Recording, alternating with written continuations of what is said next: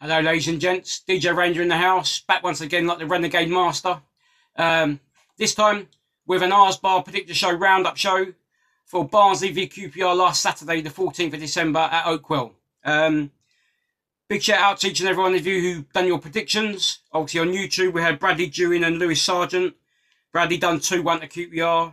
Lewis Sargent done 3-2 to QPR. On Facebook we had Richard Butler, legend, done his favourite score 2 1 to QPR. Dave Evans done 3 2 to QPR. Les Woods done 3 1 to QPR. Kieran QPR Berry done 2 0 to QPR. And Mick Crawford's done 3 0 to QPR. Obviously, um, as you know yourself, uh, we lost the game 5 3. Um, I personally thought we didn't play really well, too great. Um, you know, these things happen, unfortunately. Let's hope we can bounce back uh, in the next game against Charlton at home.